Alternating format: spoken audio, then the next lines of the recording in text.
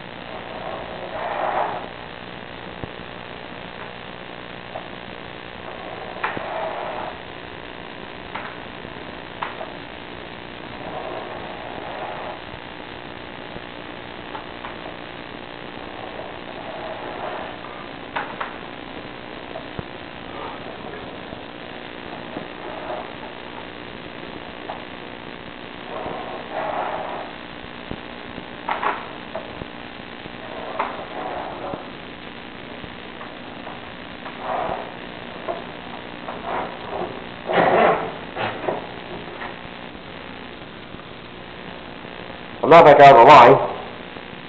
This concludes the videotaping of this sewer.